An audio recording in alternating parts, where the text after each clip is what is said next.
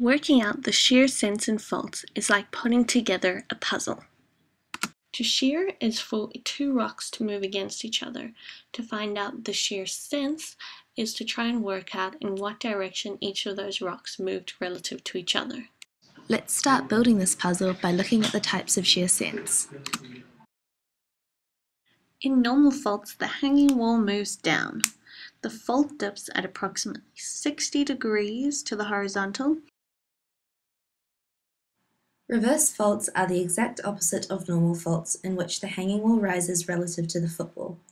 Reverse faults thrust dip at approximately 30 degrees and they tend to occur in areas undergoing compression. In a strike-slip fault, the fault surface is vertical. The direction of lateral movement can be defined by using the idea that an observer is situated on one side of the fault. If the observer views the opposite side of the fault moving to the left, it is defined as a sinistral fault.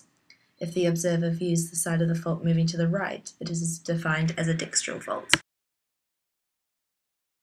Oblique is just a combination of strike slip and reverse or normal faults. Now let's look at the indicators. Displaced marker beds are the most obvious sense of shear indicators because you just need to observe where marker beds, such as sedimentary beds, veins, or dikes, move relative to each other. However, we need to ensure that we're measuring the true displacement and not the apparent displacement. Because for accurate shear sense indication, the true displacement needs to be measured. Dilational jogs begin as a fault with a bend. The arrows in the diagram indicate the sense of shear. As the fault ruptures, either side moves apart due to shearing in the fault.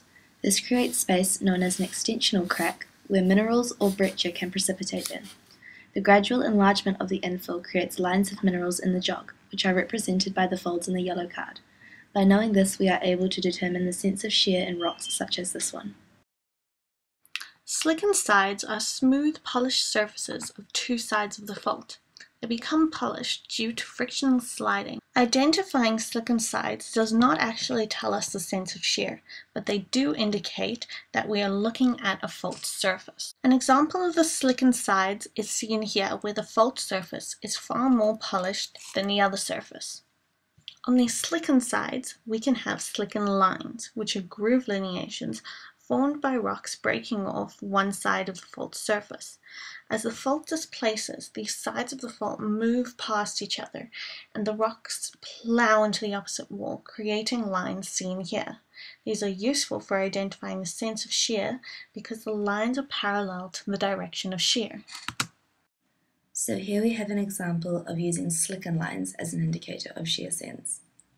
Here we are pointing out lines formed by frictional sliding.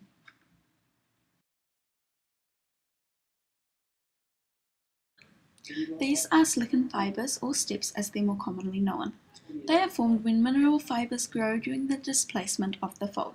The step shape itself is created as the hanging wall and footwall slowly creep past each other, which causes the fibers to grow in little steps.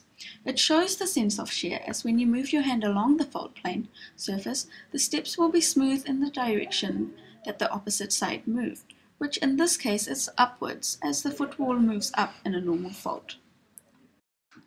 So here we have an example of a rock which uses steps as an indicator of shear sense. The surface will feel smooth when you move your hand towards the direction of shear. Riedel shears are another type of shear sense indicator.